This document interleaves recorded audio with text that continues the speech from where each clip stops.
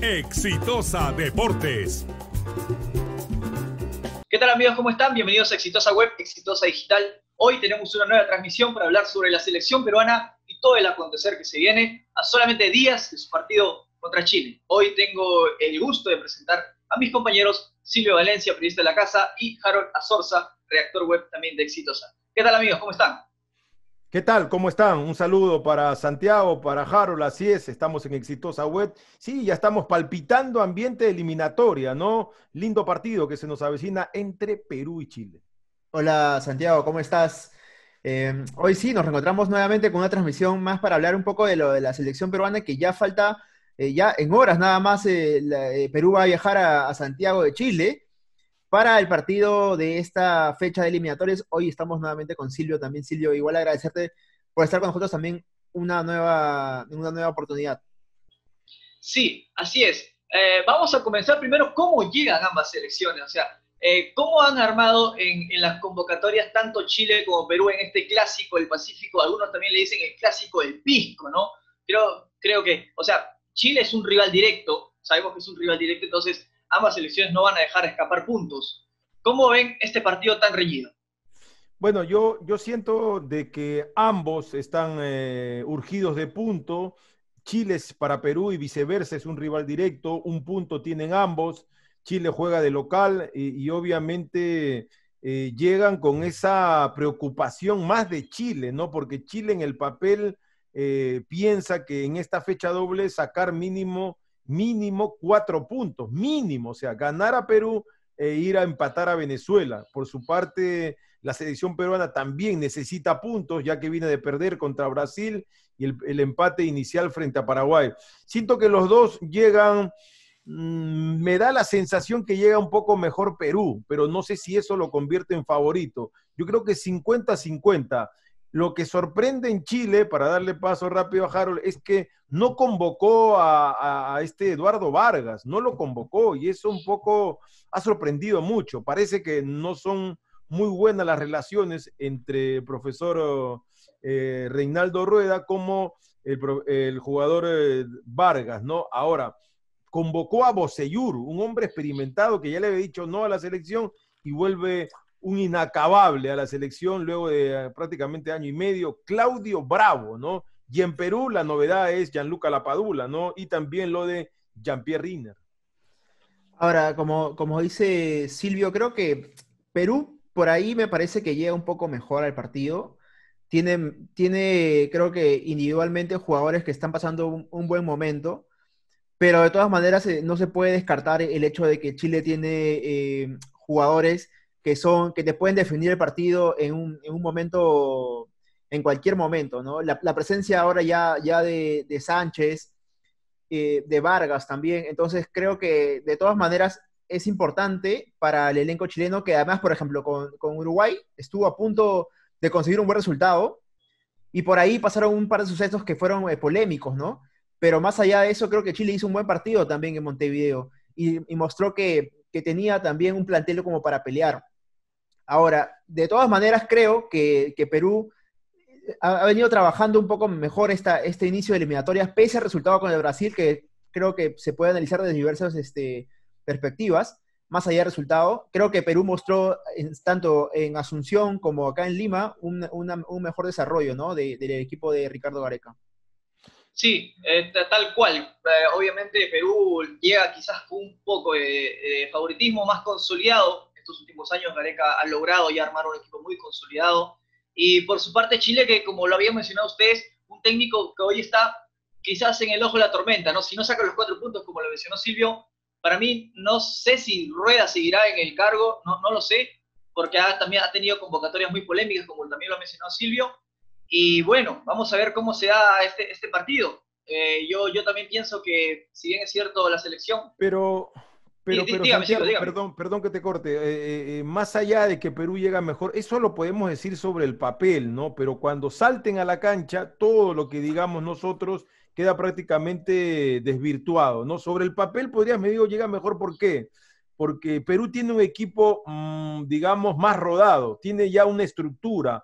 Eh, mientras tanto, Chile con Reinaldo está buscando formar un equipo, tiene individualidad, o sea, digo equipo como conjunto, ¿no? O sea, no se, no se conocen tanto porque no han jugado.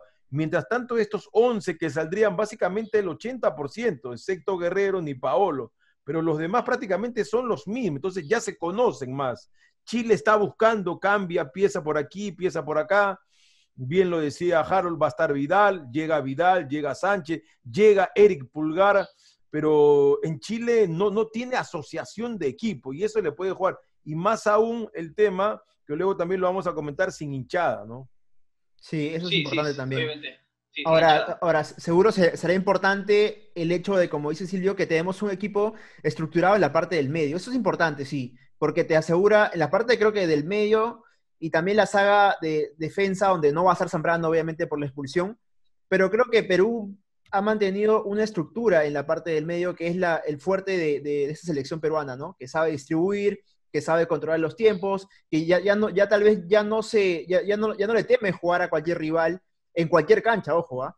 porque Perú me parece que demostró el mismo nivel y el mismo, el mismo estilo de juego, si se puede llamar así, en Asunción y en Lima, ante, ante Brasil y ante un Paraguay. Contra Paraguay tal vez se pudo pensar que éramos favoritos, se jugó un estilo y contra Brasil también se jugó un estilo, pese a, Neymar y, a todas las estrellas que, trajo Brasil. Así que creo que que por ahí, por el, por el juego, Perú de todas maneras tiene una idea más consolidada, ya viene de un proceso ya casi cinco años o un poco más de, con, Ricardo Gareca, así que creo que de todas maneras, por, el, por el, la idea de juego, por la estructura, por la forma de cómo eh, plantarse en Santiago de Chile, seguro creo que Perú por ahí tiene un paso encima, ¿no? Que, Rueda, que, es, que todavía está jugando con estos eh, miedos de, de, un resultado negativo, se va. Entonces, eso de todas maneras eh, puede afectar eh, en la parte de, plantear un equipo, ¿no? Por la parte chilena.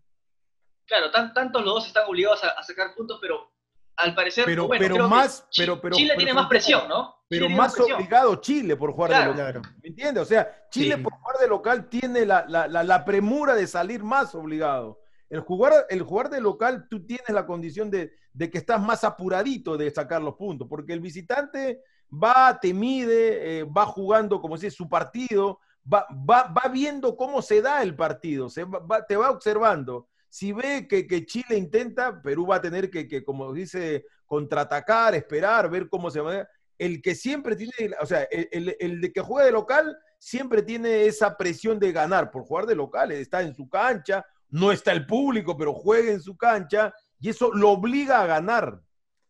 Ahora, ¿crees que también el hecho de que esté la Padula ahora, ¿no? ¿Tú crees que la Padula va a ser titular, eh, Silvio? Yo por, lo que he, eh. yo por lo que he visto y he escuchado los primeros, estos dos eh, días que ha estado la Padula entrenando en la Viena, hoy, hoy seguro ya Ricardo Gareca va a plantear el equipo de todas maneras. Lo que ah, pasa, lo que, lo que, lo que pasa es que va, va, a dar conferencia de prensa hoy día, ¿no? Claro, hoy día va a dar. lo que pasa es que la Padula no ha hecho, o sea, hasta donde manejo información, no ha hecho partido de práctica en sí, ¿no? Eh, ha hecho movimientos, lo ha puesto a la Padula eh, supuestamente en el equipo B, pero vamos a ver, yo reitero, yo quiero esperar, yo, yo soy de, esperar. Ahora, Gareca no es de dar alineación.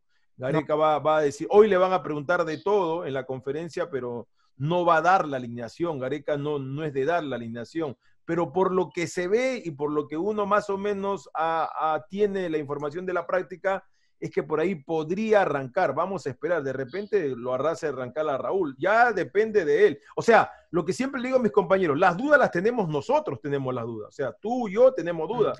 Gareca tiene el equipo en su cabeza desde ayer, por ejemplo. no, o, desde, el día lunes. Gareca en su cabeza, o sea, los técnicos en su cabeza maquinan el equipo. Voy a jugar con Harold de defensa, voy a jugar con Santiago en la volante y arriba lo pondré a Silvio. Sí, yo, yo creo que este, este es el 11 que yo creo. Entonces, va, va a la cancha y hace algunos trabajos con él y también trata de hacer otros trabajos alternando estos jugadores. O sea, Gareca tiene el equipo. Lo que no tenemos somos nosotros. Él ya en su cabeza, o tú crees que va a pensar hoy, mañana. Él ya tiene el equipo para el viernes. Él tiene el equipo para el viernes. Ahora, bueno, yo, yo sí pienso un poco, yo pienso distinto, ¿no? Pienso que Gareca va a respetar la jerarquía. Si bien es cierto, Ruiz Díaz no, no, no anota hace mucho tiempo en la selección, eh, desde 2018, pero, pero, pero Santiago, ahí voy a hacer Pero yo pienso que va, a respetar la jerarquía y va, a empezar pero, pero eso no es jerarquía, eso en todo caso se llama, eso se llama proceso de trabajo. Claro, porque jerarquía, jerarquía tiene la Padula más que, más que Ruidía. No, no pero no, tiene partidos en la selección. Por eso te digo, claro, o sea, a eso dime, o sea, porque jerarquía no es. Porque si lo podemos jerarquía de jugador a jugador, la Padula tiene más jerarquía. Él juega en Italia y el otro juega en Estados Unidos. La liga italiana está por encima del, nivel del Estados Unidos. Ahora si, ahora, si es que tú me dices, Silvio, lo va a poner a Ruidías, ¿por qué? Los conoce más a los compañeros. Tiene más tiempo de trabajo que la Padula. Ahí sí, pero yo te replico y te digo, ¿y qué tanto puede eso sorprender a Gareca de que el rival le mande un mensaje y le pone a la Padula? Porque en la lógica todos piensan en Raúl, pero y, la, y si él manda a la Padula, le está dando un mensaje al entrenador, wow, me está sorprendiendo con este jugador, pienso yo, Rueda, que yo tampoco lo conozco y, cómo lo voy a tratar de marcar. Entonces, los técnicos juegan con eso también. Ojo. Bueno, yo, yo me baso porque Gareca ha sido un técnico que no es mucho de especular. Siempre ha lanzado un 11 que se ha prevalecido por el juego colectivo más de lo individual. Pero, pero Santiago, yo, yo, me baso en eso. Está bien, está bien. Pero, no ha especular mucho. Pero eso lo puede hoy romper. O sea, hoy lo puede decidir cambiar. ¿O tú crees que no puede cambiar? Bueno, yo pienso que tanto Riner como La Padula, si es cierto, ha sido dos jales, eh, es que muchos no lo tenían tan en mente, pero y nos ha sorprendido estas últimas semanas, eh, no van a alinear para mí, de titular no van a arrancar. Van a tener minutos, sí, en el segundo tiempo pueden entrar para mí, sí, pero no creo que los ponga deslados para mí. yo también creo que, yo, también creo que, a ver, creo que Riner me parece que está totalmente descartado para que inicie, me parece que por ahí no va a ir, porque Gareca en la parte defensiva no, no va a probar absolutamente nada, creo, ¿no? Va, a jugar con los que ya, con los que ya ha trabajado una eliminatoria completa prácticamente. Salvo que ahora no está Zambrano, eh, por ahí va eh, eh, Araujo, o puede ir, no sé, eh, Callens, pero ya son jugadores que ha trabajado en, un todo, en una eliminatoria. Por el lado de, en la parte de arriba, puede que haya sorpresas. Incluso, la, vez pasada leí un poco, si, algún, si en algún momento puede ser que juegue Ruiz Díaz y la Paula juntos. ¿Por qué? Porque la Paula es un jugador que tiene más experiencia como nueve, que te puede, que te puede chocar, que te puede jugar como centro delantero y en cambio Ruiz Díaz es un jugador que necesita espacio, necesita un, balón al espacio, necesita un pase filtrado para que pueda hacer goles. Y creo que de repente se podría acomodar como un segundo delantero. Creo que por ahí podría pero, ser... Igual, es complicado de todas maneras, porque Ricardo Gareca sí, eso sí, ya cambiar una estrategia de juego es bien difícil en ese sentido, ¿no? Pero, pero yo no los veo arrancando en Chile a, los dos. No, no, no, por, eso te digo. yo, los veo, yo lo veo a los dos eh, no teniendo un resultado favorable y lanzarlo a, cualquiera, del, a, Raúl, por ejemplo, ya estando la Padula a Raúl, para que Raúl vaya detrás de la Padula. Y así se puede sostener mejor, o sea, va, va de nueve la Padula y Raúl atrás. Yo creo que así Raúl puede funcionar, o sea, Raúl tiene que funcionar, ¿cómo funciona? Jugando con un nueve más adentro y él de atrás, entonces él puede hacer una sorpresa, Raúl, y Raúl no desconoce jugar de atrás, puede llegar y la Padula puede sorprender con, sus movimientos para que aparezca Raúl también por, por, alguna, por alguna zona, ¿no? Claro, obviamente, obviamente. Y bueno, para ir ya consolidando esta, esta este videollamada, esta transmisión, vamos a hablar sobre lo que va a ser el partido en sí, eh, basado también en historia. Chile hace unas semanas había solicitado al gobierno para poder jugar con hinchas, se le han denegado. Entonces, a lo que le pregunto a ustedes es qué tan importante, o sea, qué tan influyente va a ser para Perú jugar en Chile sin público, sabiendo que jamás hemos podido lograr una victoria ahí. El último empate que hemos sacado, así, si no me equivoco, en el 2000, al mando de Maturana, entonces un 1-1, entonces desde ahí Perú no ha podido sacar otro resultado que no sea derrota. ¿Qué opinan ustedes? Yo siento, antes que entre, perdón, primero voy a entrar yo, este, siento que es el momento para ir a Chile en una cancha bien complicada que es la de Nacional de Santiago y siempre el público chileno ha sido un público, y no es que lo diga yo, siempre ha sido un público hostil para nosotros, o sea, es un clásico. Los que hemos ido a Chile, los que hemos ido a Ecuador, eh, en el camarín, les cuento, de, de Chile existe la palabra, con Perú no se puede perder prohibido perder con Perú. O sea, te imagínate ese chileno viendo ese letrero saliendo a la cancha te pone, te pone como diciendo, este es el partido que yo voy a, voy a meter la pierna hasta donde la pueda que meter y, si me tengo que ir, me voy a ir, pero con Perú, con los, con los peruanos no estamos en la obligación de perder. O sea, voy a poner ese, ese adicional más. Y viendo a la tribuna, ahora sin público, eso un poco que puede equilibrar a, Perú.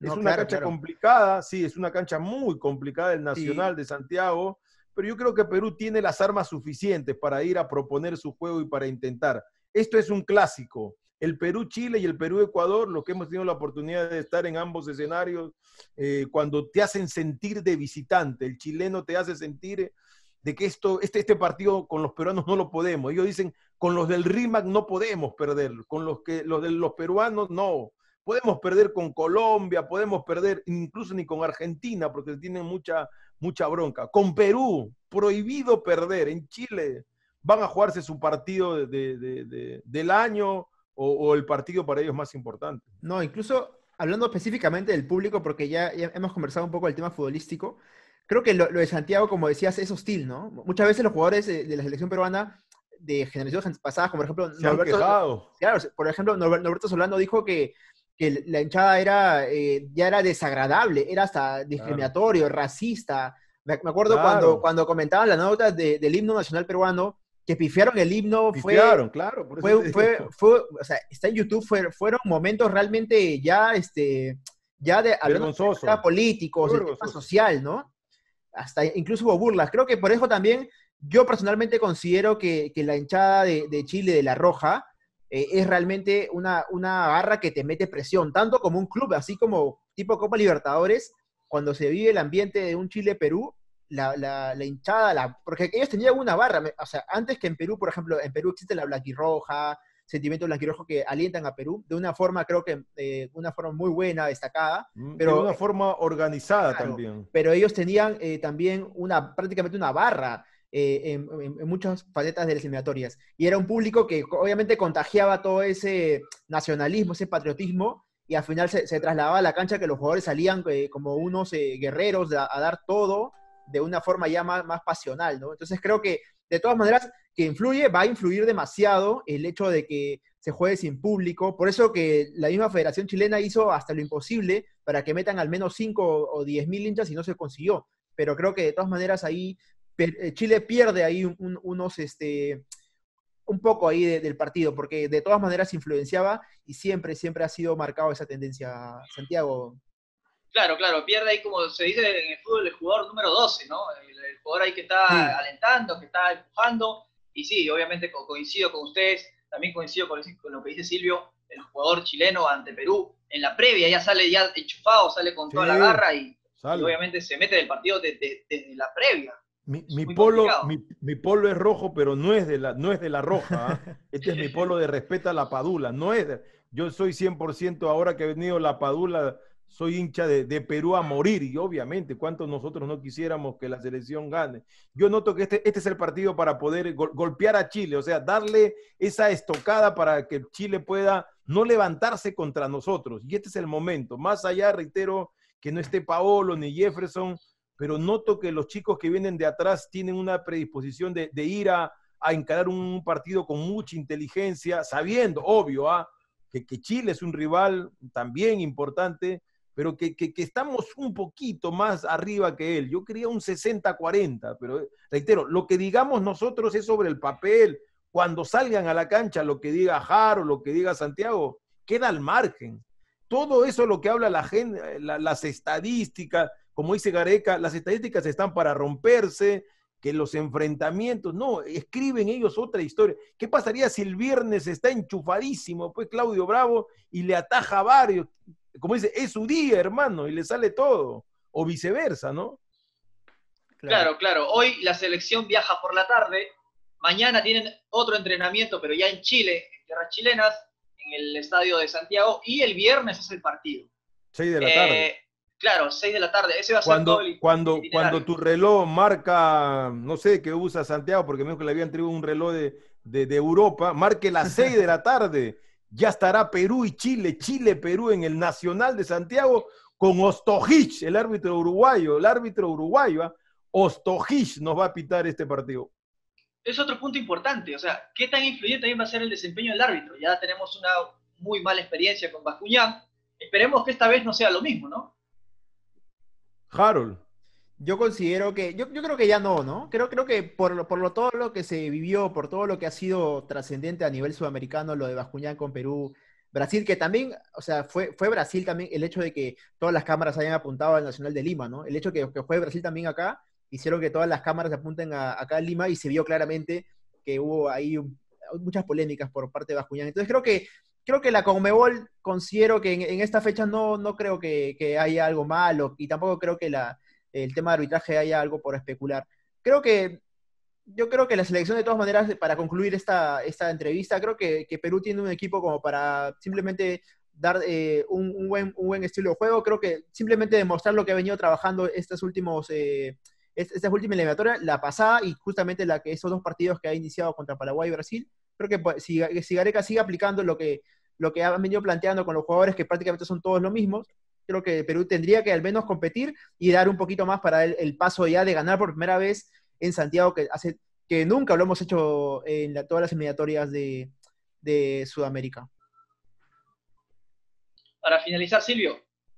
No, de que yo noto a la, a la, selección que va por un, por un objetivo importante de sacar esos tres puntos, de que este ambiente de la padula que se ha creado, esperemos que, nos dé alguna mano, de que pueda Gareca eh, ser él el que en qué momento lo pueda utilizar. A mí me gustaría que arranque, reitero, más allá de que la Padula, porque la Padula me parece, valga la redundancia, un delantero incisivo, un delantero penetrante que sabe jugar, que patea con, los dos, con las dos piernas y que Chile no lo tiene referenciado. Si algo tiene Chile, si algo hay en ese comando técnico de rueda es que dicen, hermano, este la Padula, bueno, juega, lo, lo, vemos en el Benevento, pero ¿cómo puede insertarse a Perú? ¿Cómo, ¿Cómo va a entrar este chico? De repente por ahí hay que referenciarlos, hay que, hay que, nuestros zagueros, Maripán y Pablo Díaz, hay que tenerlos muy atentos porque no, nos puede complicar por momentos, ¿no? Porque también juega en ligas extranjeras, eh, Pablo Díaz en River y, Maripán que juega en el, en el Mónaco, me parece, de Francia. Entonces, lo tienen que referenciar. A, Raúl sí lo conocen más en Chile, entonces ya lo tienen un poco eh, conocido. Va a ser un partido complicado, como dicen todos, y es obvio. Ostojich me parece que va a hacer su trabajo. No hablemos de los árbitros, hablemos del juego. El árbitro se puede equivocar, pero arriba está el VAR. El VAR, lo que se equivoque el árbitro en la cancha, el VAR está para que le diga, hey, Ostojich, pitate mal, mira la jugada por la tele. Yo creo que el VAR termina de, al final de determinar lo que diga el árbitro. Bueno, sí, esperemos que todo sea un juego y un arbitraje bastante eh, limpio, aceptable, sin errores, para que no se cargue de mucha polémica este trascendental partido.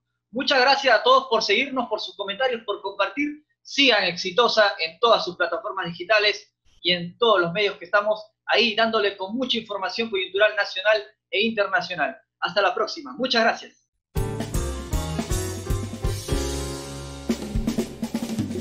Exitosa Deportes.